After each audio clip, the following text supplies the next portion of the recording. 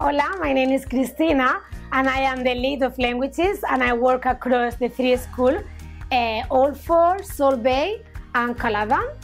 And I'm going to tell you a little bit more about how we teach Spanish in our school. In our school, we believe in the importance of learning language since this has been shown to help develop other skills such as long-term memory, problem solving, and also its improved concentration and listening skills. We love to teach Spanish in a fun way through games and songs, which help our students to learn new vocabulary and be able to maintain simple conversations in Spanish about topics like, for example, the weather, how we feel, or even order food in a restaurant.